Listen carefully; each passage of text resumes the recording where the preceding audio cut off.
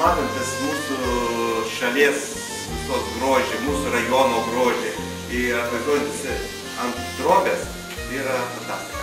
Tai tikime tau, kad tu visą laiką sugebėsi pamatyti tos pačius e, nustabiausius mūsų šalies ir rajono kampelius ir pavaizduoti tai.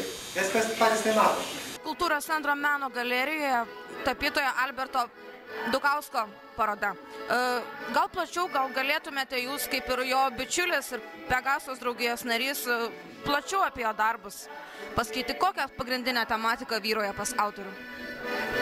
Na, jisai yra, kaip jis pats minėjo, taip pat ir jūs kalbėjote apie tai, praktiškai klasikinės e, tapybos, tapysenos atstovas sėmėsi pavyzdžių, aš galvoju, kad iš Muizinavičius, Šimonio, kitų senųjų mūsų tapytojų Lietuvos ir užsienio.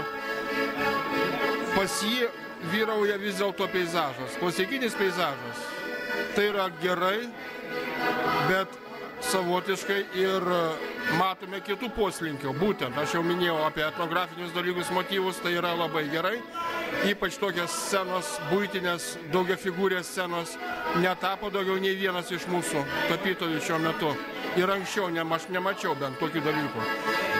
Ir manyčiau, kad pavyzdžiui, jo tokius darbus, kur mes dabar matome apie šventes, e, tiek pagoniškų apieigų, tiek dabartinių švenčių, kur išliko, galėtų įsigyti tos darbus muziejai. Ne tik mūsų, bet ir kiti muziejai, nes tai yra tikrai išliekamą vertę turintis darbai.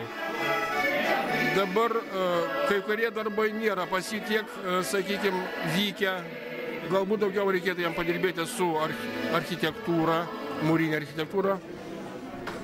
Galbūt pateikti, sakykime, netokį iškrapštimo, nu čia liaudiškai tariant, o apibendrinti.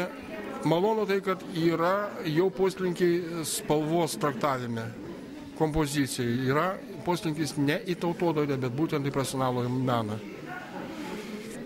Tas žmogus, kuris dirba, labai produktyvus, aš tai minėjau irgi.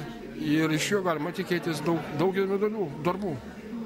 Tikriausiai ne vienerius metus jūs pats ir, ir, ir, matėte dar, jo darbus ir stebite, kaip jis pats per tuos metus e, ištobulėjo. Aš manau, kad jisai labai darbštus. Tai yra labai didelis pliusas jo kūryboje.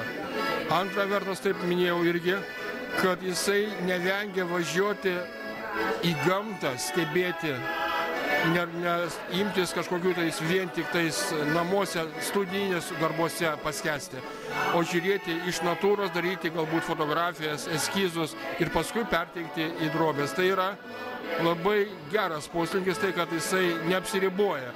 Tai yra nerado tokią patogią nišą, o pats dalyvauja ir ieško.